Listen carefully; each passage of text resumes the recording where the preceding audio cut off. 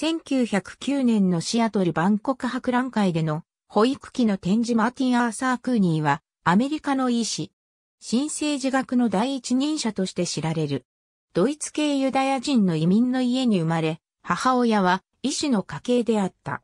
小児科の名医であるピエール・コンスタント・ブーダンの弟子であったと自称しているが、証明はされていない。また、よく訓練された医師ではなかったと信じるに足る証拠も示されている。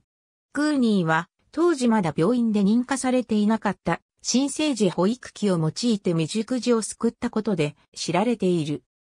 クーニーは保育器を1896年のベルリン産業博覧会、ロンドンのアールズコートエキジビションセンター、1898年にネブラスカ州オマハで行われたトランスミシシッピ博覧会、1900年のパリ万博、1901年にニューヨーク州バッファローで行われたパンアメリカン万博などで披露した。